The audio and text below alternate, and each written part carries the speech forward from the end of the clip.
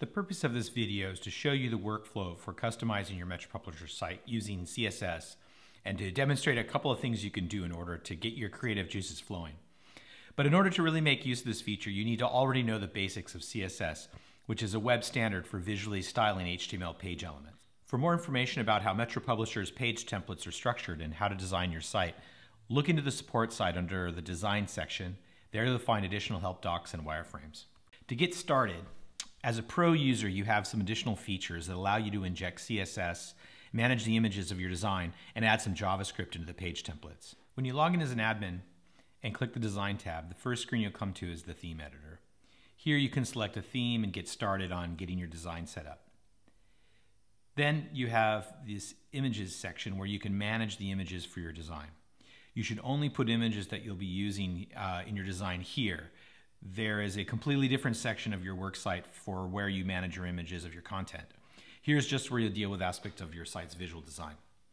Now the next tab is the CSS. This video is primarily about that, so I'll skip it now and explain it to you in more detail momentarily. Then there's the JavaScript. Here you can insert your own JavaScript into the header and footer. This is an advanced feature and you need to be very careful when you use it. You can easily blow up your site by pasting in JavaScript that's incorrect or has conflicts with existing JavaScript in your page templates. And the last tab allows you to archive your design or upload a previously archived version of your design. So let's get into some detail about the CSS to create a distinctive visual look for your website. The workflow has two parts. The first is to select the theme um, to get you started. Then, once you've made the initial selection for a theme, colors and fonts and such, you switch to the CSS editor to make further refinements. Um, to learn more about using the theme gallery, watch the video within that section. So in this sample, I've done some basic changes to one of the existing themes. I've added my logo, I've picked a color palette, and made some font choices. But I want to do a lot more than that. I want to turn this site here into this one. I want to strip the, co the color down and I want to make everything simpler, allow more white space, and feature larger images. And all of this can be done with CSS. In MetroPublisher, there are two layers of CSS. The first layer, which we call the base CSS, is what defines everything you see on the page based on the selections you made in the theme editor. The second layer is the screen CSS file, which loads after the base CSS and can add to or override whatever is in the base CSS. This is the file you have access to and can edit.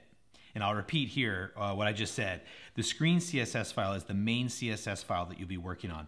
That is where you do all of your CSS changes. So let's do an example. My main navigation is a dark gray color based on the theme and the color palette I selected, but let's say uh, that I just wanted that element to be red instead of gray. I would change that in the screen.css file. But how do I know what to target in order to change the background color of the navigation to red? That's where this brilliant little application called Firebug comes in. So tip number one is that I encourage you to do all your CSS edits in Firefox using Firebug, okay? So let's go back to the navigation background color. We're going to use Firebug to find the element we want to change. Which brings me quickly to tip number two. Um, use the preview to check page templates and check your changes. There are a variety of reasons for this. One is that your live site is cached and um, some of the CSS changes won't take effect immediately, which can be frustrating. So the best way to work, therefore, is to use the preview. When you're satisfied with your changes, publish them all live at the same time. So to continue, click on the preview button below and a new tab will open. On this preview page, open Firebug and find the element that you want to change. I want to make the gray background on the navigation red, so I need to find the element to see how the CSS is written. HTML and CSS can be written in a variety of ways. If you click around, you'll see that in this case, the main navigation is an unordered list with a class called uh, main nav. On the right here, you can see the CSS that defines the styling. So where there is a gray color, let's change it to red. Um, you can see now that the navigation is red. So you continue to play around with it until it looks the way you want it. Then you need to copy your changes and um, add the change to the screen.css file. Now this brings me to tip number three.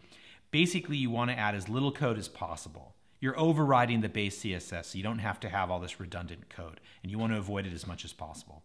So for example, the only change I made in this, per, this particular example was to change the background color for the list.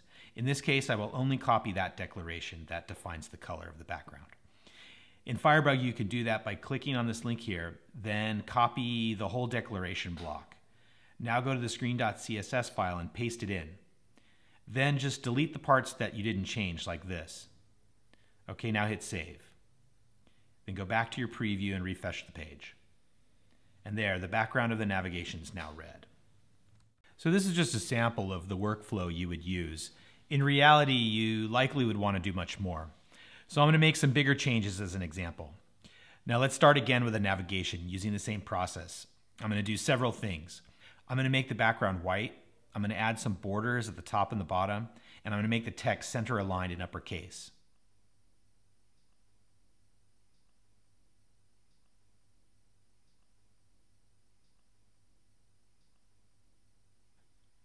Okay, but now I can't see the text because the links were white. Now I'm going to change those. So I need to find the link color. So I'll find that element that defines the color and I'll change it to this gray color that I want. Now this is starting to look close. So I'm going to copy these parts over to the screen.css file.